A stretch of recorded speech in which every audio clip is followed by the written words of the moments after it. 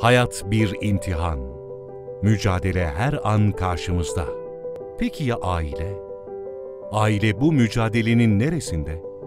Aile bireylerinin yaşadığı sorunlar, aile hakkındaki merak ettiğiniz tüm sorular, aile dini rehberlik uzmanı tarafından cevaplandırılıyor. Aile Zamanı Diyanet TV'de.